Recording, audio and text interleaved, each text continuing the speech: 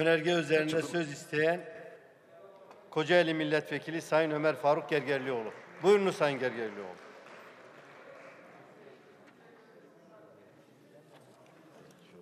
Sayın Başkan, değerli milletvekilleri, kooperatifler e, Türkiye'de iyi bir durumda değil.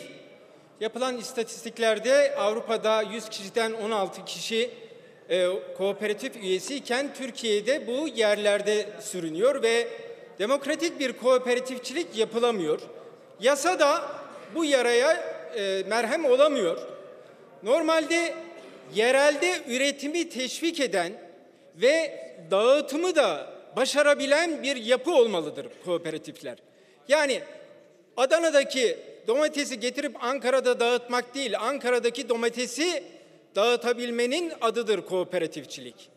Ve aynı zamanda devlet kooperatiflere hukuk ve yazılım anlamında da destek vermelidir. Çünkü biliyoruz ki kooperatifçilik Türkiye'de çok sahtekarlıkla malul bir yapıdır. Bunu da çok iyi biliyoruz.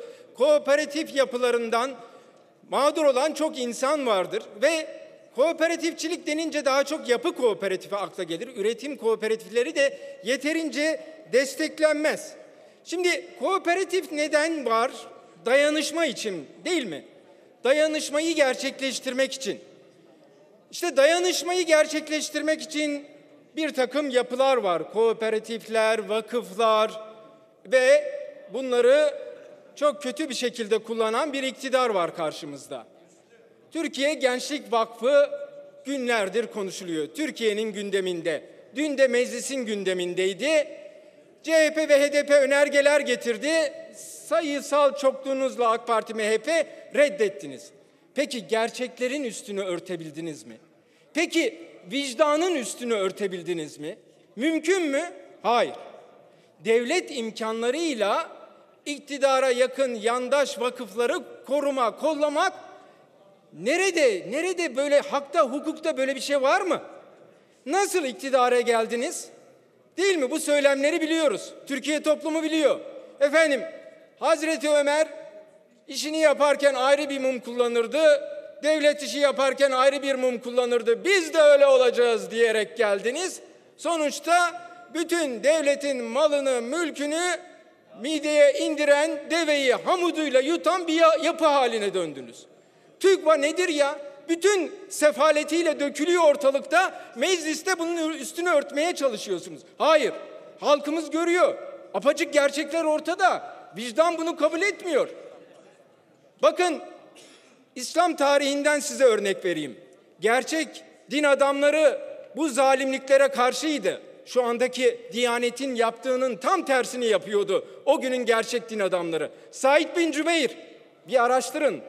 Küfe valisi Haccacı zalim onu katletmek istediğinde karşılıklı bir diyalogları vardır. Orada Haccacı zalim der ki niye bana itiraz ediyorsun Küfe valisi olarak? Bak biz fetihler yaptık, camiler yaptık gibi İslami argümanlar kullanır. Ama Said bin Cübeyr sen o camileri iktidarını sağlamlaştırmak için yaptın. Sen o yaptığın camilerle milleti dinden uzaklaştırdın dedi. Ben de şimdi aynısını söylüyorum. Sizin iktidarınız dönemindeki kadar insanların dinden uzaklaştığı bir dönem yoktur. Bütün bu konuları çok iyi bilen bir insan olarak bütün bunları yakından takip ediyorum. Bu günahtan ve suçtan uzaklaşın. Bakın bu bir vicdan meselesidir. TÜGVA meselesi, TÜRGEV meselesi ve diğer tüm yandaş vakıfları nasıl kolladığınızı biz size söylüyoruz. AK Partili vekil dün çıkmış ne diyor? Arkadaşlar Türkiye toplumu bu, duysun bunu. Bu hırsızlığı biz söylediğimizde AK Partili vekil diyor ki biz diyor o vakıflarda hayırlı evlat yetiştireceğiz. Şunu bilin ki haram parayla hayırlı evlat yetişmez.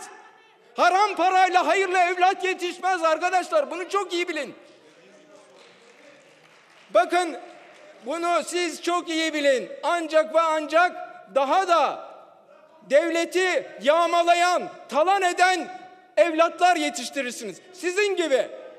Sizin gibi tamam mı?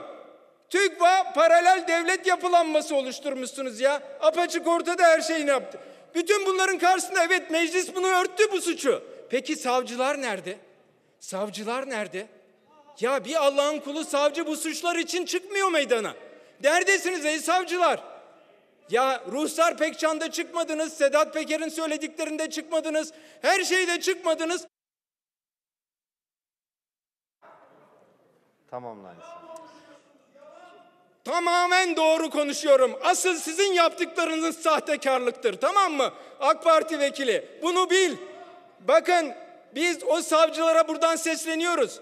İfade özgürlüğü kullanıldığı zaman hemen iddianameler, davalar açılır hak savunucuları için. Ya benim için açtınız ya utanın ya.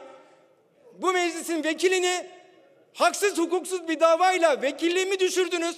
Cezaevine yolladınız ve daha sonra Anayasa Mahkemesi'yle kararıyla geri, geri geldim. Bütün bu sahtekarlıklar, hukuksuzluklar sizin e, boyunduruk aldığınız yargıyla oldu. Tamam mı? Yerel, istinaf ve Yargıtay'ın hukuksuz kararlarından sonra Anayasa Mahkemesi'nin kararıyla döndüm. İki kez geldim bu meclise. Sizin hukuksuzluğunuza rağmen geldim. Tamam mı? Bunu çok iyi bilin. Evet bizi bakın